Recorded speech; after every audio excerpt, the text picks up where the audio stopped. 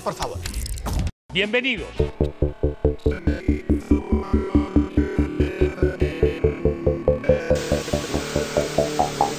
Es un chiste. No, no, no, no es un chiste. Parece, pero no es un chiste.